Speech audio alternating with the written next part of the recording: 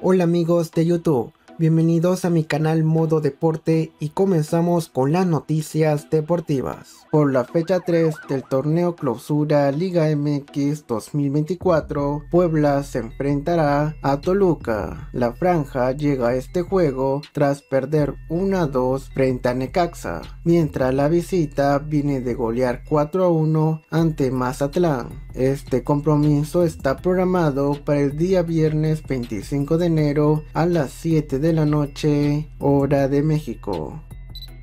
Brian Reina está en la mira de Belgrano de Argentina. El vicepresidente del elenco cordobés, Héctor Baicetrochi, confirmó que no solo existe interés, sino que también están negociando con Alianza Lima para adquirir al delantero. El directivo argentino añadió que el jugador llamó su atención de hace tiempo, pero aclaró que aún no ha tenido contacto con Reina para llegar a un acuerdo, pero sí están en conversaciones con Alianza para la operación.